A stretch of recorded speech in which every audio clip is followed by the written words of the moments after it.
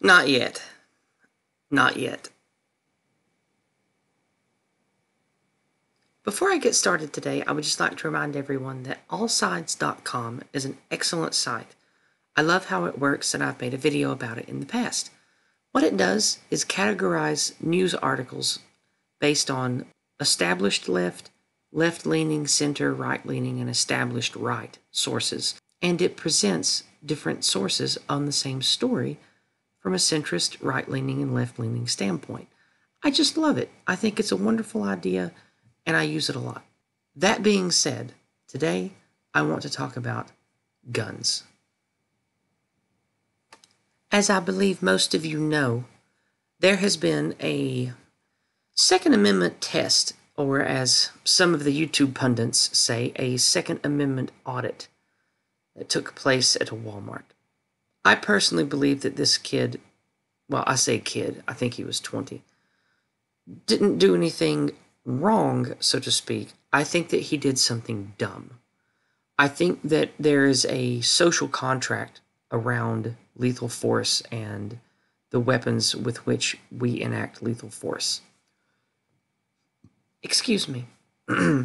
and while the gentleman in question, of course, armed to the teeth, carrying ammunition, wearing a protective vest, clearly looks like someone who might be ready to, I don't know, raid a drug uh, raid a drug den or perpetuate the next Shas mooting of some kind of school.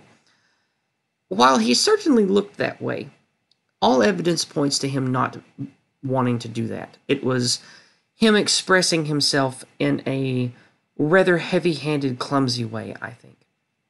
Now, regardless of what you and I might think about this person and whether or not he should have done what he did, it does raise an interesting point about the Second Amendment, and I would like to use this story as a launch point to talk about a couple of things in regards to the Second Amendment that trouble me lately. Glancing at these three headlines, we can see that the general sentiment of the left, center, and right media is that someone with a firearm halted a destructive person or life threatening person who also had a firearm. The thing that troubles me about this is the tribalism aspect of it. It seems that we can't escape an us versus them mentality now, and that the powers that be don't want us to. They want us afraid of our fellow citizen.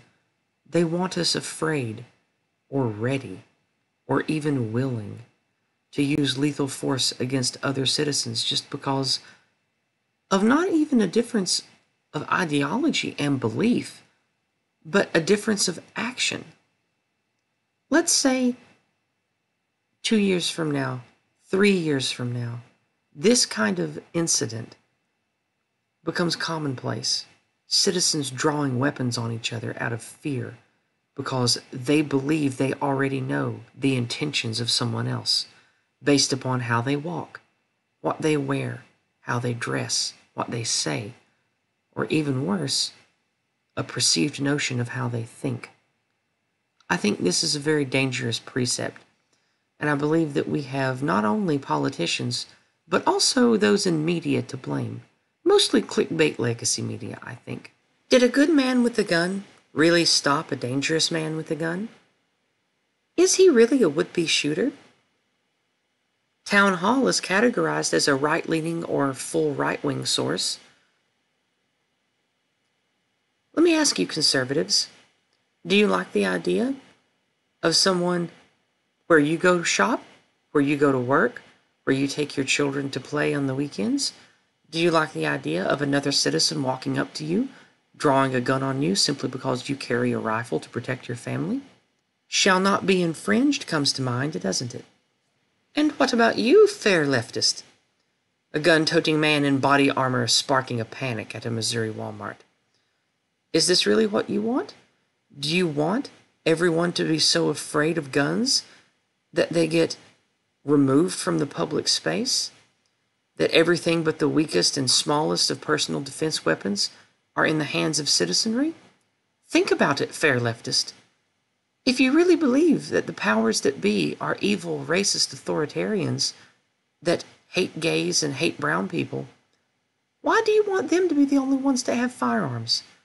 Why do you want them to confiscate, take away, force to buy back, or even punitively attack those who want to have firearms to protect their families? Productive, isn't it? Think about it. And now, I ask you, American centrist, American fence sitter, my fellow libertarians, do we want the nomenclature, the type of firearm, the minutiae of design schemata to matter when it comes to who can wield what weapon to protect himself or his family or his loved ones or her children or her class? Do we really want to go down this road, centrists? American centrist, I beg you, think of principle, think of ethics, instead of the minutiae and the semantics of this topic. No shots fired? Motives unclear. While I definitely agree that no shots were fired, I believe the motive is rather clear.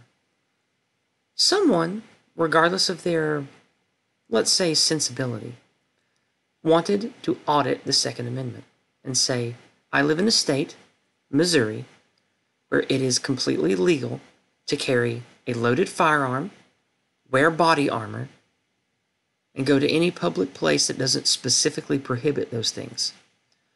This man was doing nothing wrong, legally speaking. This man was testing the Second Amendment. And what happened in that test? Another citizen thought him to be a would be shooter, a terrorist, and pulled a gun on him, commanded he stay still until the police arrived. This bothers me. Why didn't the man talk to him? Why didn't the man talk back?